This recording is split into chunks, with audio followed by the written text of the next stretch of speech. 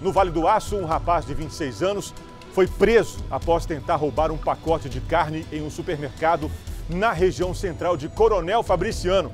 O suspeito teve que ser imobilizado pelos funcionários do estabelecimento até a chegada da Polícia Militar. Gisele Ferreira traz os detalhes.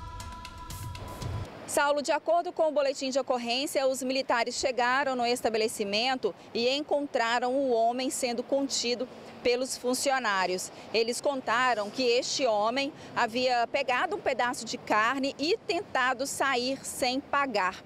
E quando ele foi abordado e questionado pelos funcionários, ele reagiu com socos, chutes e o valor da, desse pedaço de carne, que é um, um contrafilé, é no valor de 60 reais. O, o, o homem permaneceu imobilizado até a chegada dos militares e ele foi preso e encaminhado para a delegacia de polícia civil.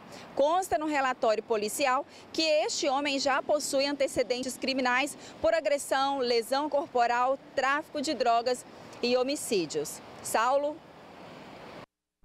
Obrigado, Gisele Ferreira, falando do Vale do Aço.